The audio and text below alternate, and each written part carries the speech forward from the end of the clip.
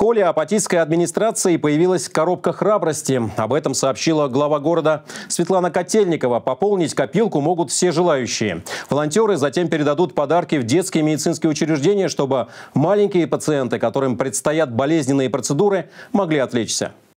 Детям, которые находятся в больнице, детям, которые идут к стоматологу, детям, которые идут даже сдать кровь в детской поликлинике. Это всегда страшно.